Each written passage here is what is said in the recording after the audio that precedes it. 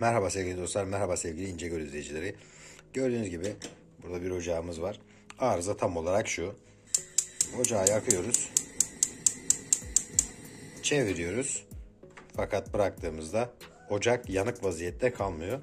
Bunun için eee, şöyle bir problemimiz var dostlar. Bunu şöyle kaldırdığınızda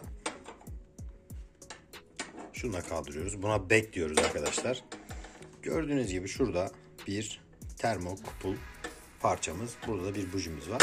Arızalı olan parçamız şu arkadaşlar. Şimdi ben size detaylı olarak bu parçanın iç kısmını da göstereceğim. Farklı bir e, set üstü ocakta göstereceğim dostlar. E, nasıl değişeceğiniz ve nerelere bağlantı yapılıyor, nasıl oluyor hep birlikte görelim. Evet dostlar, şimdi burada bakın bir tane termokupulumuz var. Burada da bir tane termokupulumuz var. Alttan bir tane somunla bağlanıyor. Burada da var.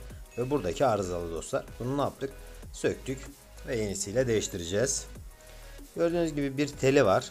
Telin ucunda dostlarım bir tane soketi bulunmakta. Soketi hemen çekelim. Şu şekilde. Bakın.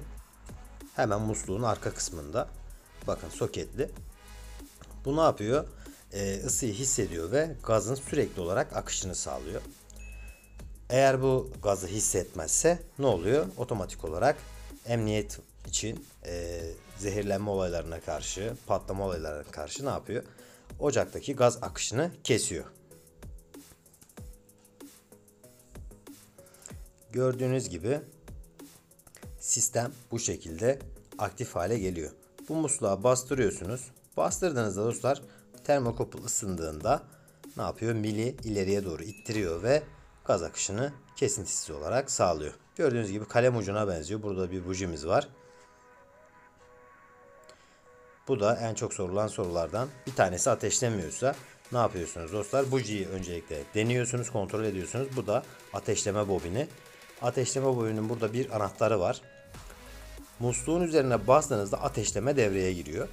Gördüğünüz gibi anahtarlar. Bakın burada anahtar ne yapıyor? Aşağıya doğru bastığınızda ateşleme devreye giriyor. Musluğu çeviriyorsunuz.